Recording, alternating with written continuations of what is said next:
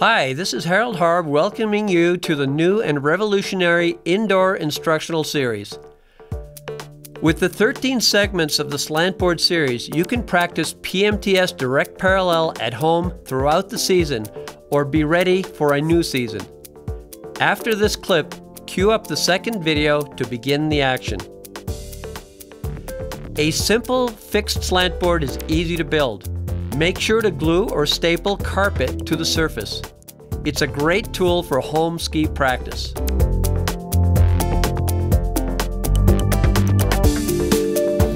If you are handy with tools, you can make the deluxe adjustable version.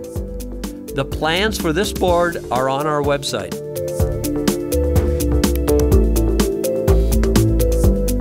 With the adjustable angle board, you can learn the movements at a shallower angle, which is easier. Then progress to the steeper angle as you improve.